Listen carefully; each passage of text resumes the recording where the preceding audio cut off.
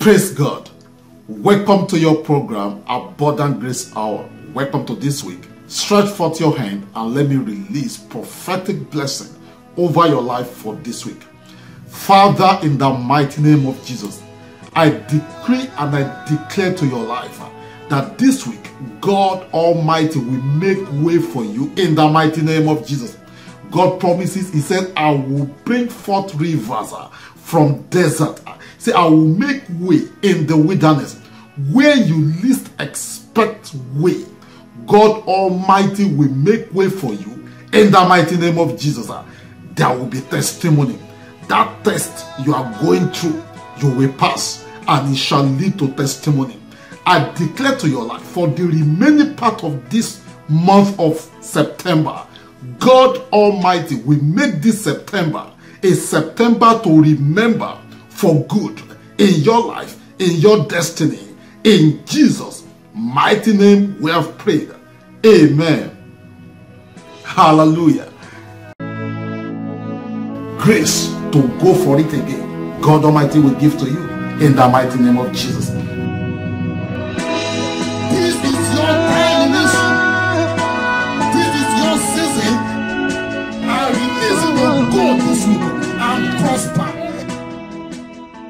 Yes, I want to welcome you back to this week. We started this series of teaching on you know common mistakes most people make about money. And we've gone through it from mistake number one to 20. And this week, by God's special grace, we will be rounding off this series and we will start another one. okay, we'll start another one, same topic on money. Why do we have to talk about money? Because most Christians, most believers think and they have this mindset that money is evil. No, money is not evil. It's the love of money that is the root of all evil. But let me tell you something. Even lack of money could be a root of all evil or most evil. So today we're going to be continuing our mistake number 21. Measuring your life by material things only. When you are measuring your life with material things alone, then it is a money mistake. You are supposed to be a six o'clock kind of Christian. And what does that mean? The short hand supposed to be on six, and the long hand supposed to be on 12. That is, you are less focusing on this earth, but you are more focusing on the life afterward. You are more focusing on the kingdom of God. You are more focusing on the life after you die. Bible says it is appointed to man to die once, but after that it is judgment. So the question is, if you die today, where will you spend your eternity? So measuring your life based on material things alone is money mistake. What is mistake number 22? Making your financial well-being depend on others is a big money mistake. What does that mean? Over 80% of the population depends on others for their financial well-being. For example, as an employee, thank God for that job. I mean, this is what we teach our members, and this is what I've been saying, and this is what I'm very passionate about.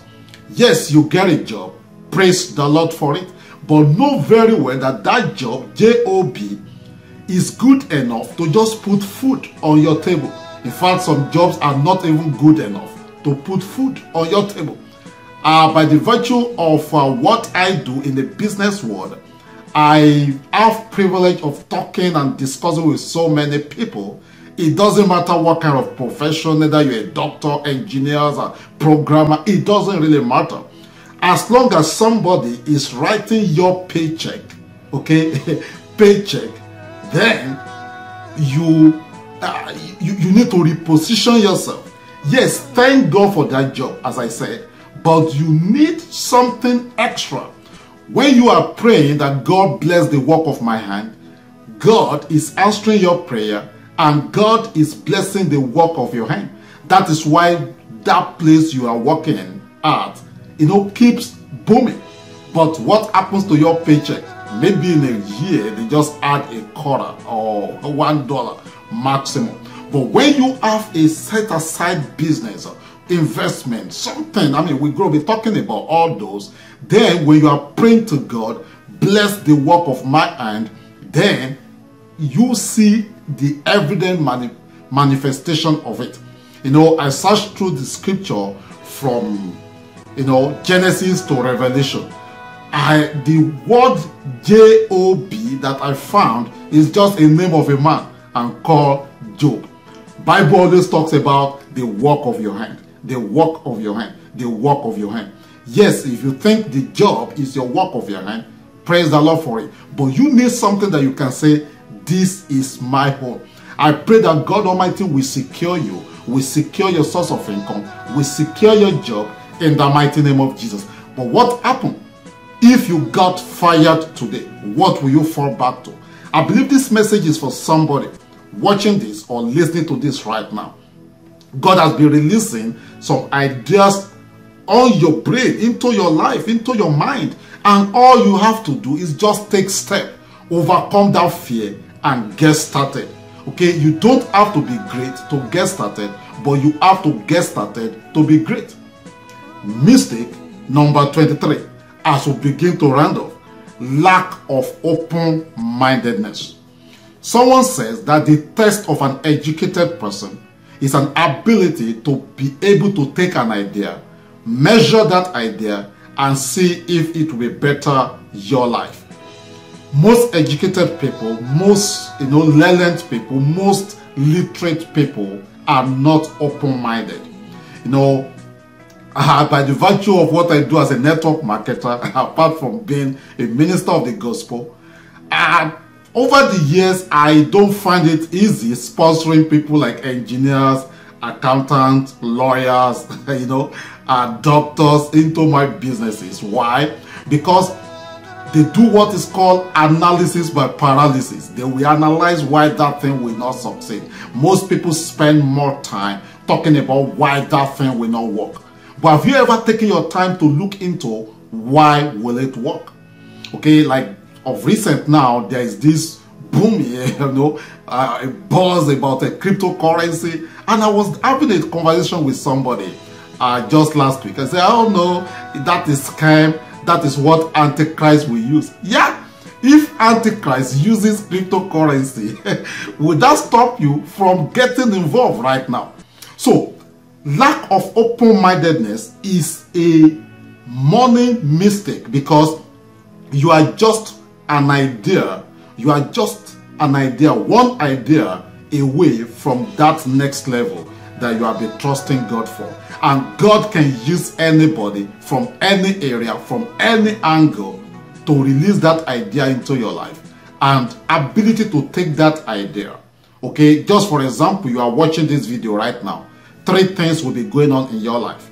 It's either you are saying, what is this pastor saying? What is Emmanuel saying? What are you talking about? Or you take a minute, you pause, and you look into all these messages that God has been sending across your path through me because I am sent for you. I am sent because of you. And you take a look at this message and you say, wow, I think this is for me. And you begin to analyze it. You begin to, to see how you will take step. Or you can just say, you know what, listen to this message, watch this message and do practically nothing. It's either of those three. This world is made of three set of people. Some people watch things happen, some people make things happen, and some people don't even know that anything is happening. But you are privileged to be listening to this message, the message that will change your life if you take action. Enough of we Christians just receiving laid of hand. You are blessed in Jesus' name. You are a millionaire in Jesus' name. But we take no action. So now, God wants to take you to the next level of your life. But you have to take that bold step. God told Joshua, all you need to do is just to be bold and to be courageous. I release grace to be courageous and to be bold, to take that step in the mighty name of Jesus. And as you begin to take steps following this teaching, God Almighty will crown your effort with good success. In Jesus' mighty name, We have prayed. Amen. Hallelujah. If you are blessed with this ministration, click like below, leave your comment, or share this video with your loved ones. That could be a blessing to somebody. God bless you, and I will see you next week. Wow! I believe you've been mightily blessed from today's ministration. It's my prayer for you that your blessings will remain permanent in the mighty name of Jesus.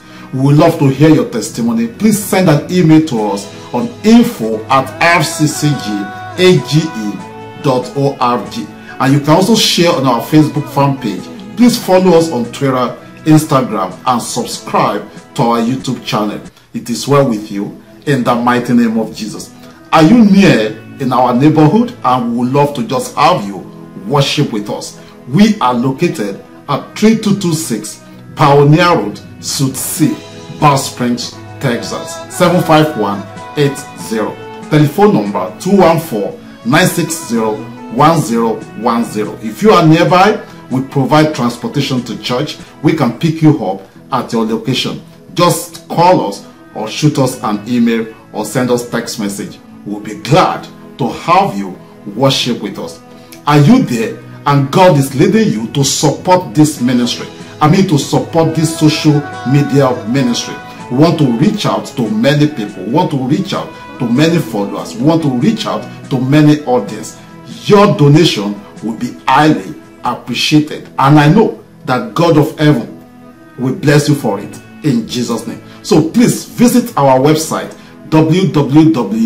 www.rccgage.org forward slash donation.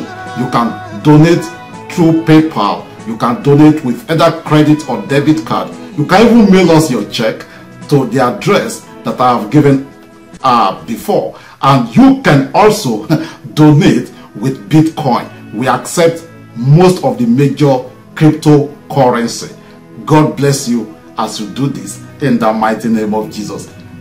Until next time on this program, Abundant Grace Hour, remember that His grace is sufficient for you. Amen.